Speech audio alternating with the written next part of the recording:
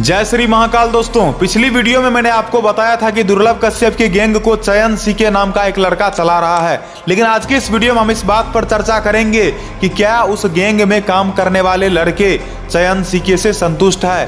क्या गैंग में कोई विवाद चल रहा है? तो आज के इस वीडियो में आपको हम सब कुछ बताएँगे। दोस्तों, आपको बता दूँ कि दुर्लभ कश्यप, जो कि चयन सीके को बहुत प्यार करता था, और चयन सीके भी दुर्लभ कश्यप के लिए कुछ भी करने को तैयार रहता था। आपको बता दूँ कि चयन सीके जो कि दुर्लभ कश्यप के लिए कुछ भी करने के लिए तैयार रहता था, वो उसके लिए मरने के लिए भी तैयार था। और यही वजह है कि आप इस फ़ोटो में देख सकते हो कि चयन सीके ने अपने सीने पर दुर्लभ कश्यप का टेट्यू बनवा लिया है। दुर्लभ कश्यप का पूरा फिगर ही बनवा डाला है अपने सीने पर।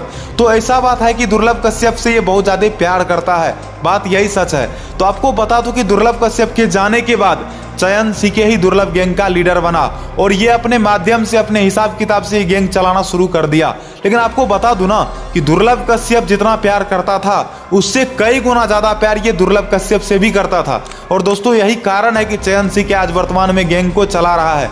लेकिन ऐसा बात भी नहीं है कि चयन सिक्के से कोई भी असंतुष्ट है। प्रत्येक गैंग के लड़के चयन सिक्के से कहते हैं कि खुश ही रहते हैं। और मैं आपको जो कुछ भी बताता हूँ तो वो इंटरनेट के माध्यम से बताता हूँ।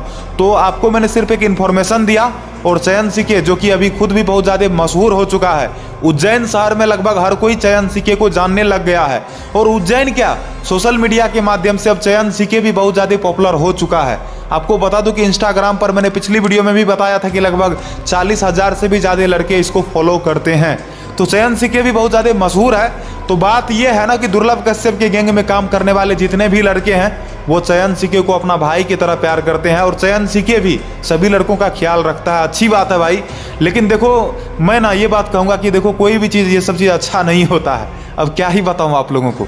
तो ये गैंग वाला चक्कर ना भाई बहुत ज़्यादा मतलब खतरनाक होता है। क्या ही बोलूँ? तो वीडियो में ज़्यादा कुछ नहीं कहूँगा, बस मैंने आप लोगों को इन्फॉर्मेशन दिया। आशा करता हूँ कि वीडियो पसंद आया होगा। अगर वीडियो पसंद आया होगा तो वीडियो को लाइक करना, चैनल को सब्सक्राइब करना कमेंट में लिखना, जय श्री महाकाल। मिलते हैं अगले नए वीडियो में, और वीडियो को अपने दोस्तों से भी शेयर ज़रूर करना।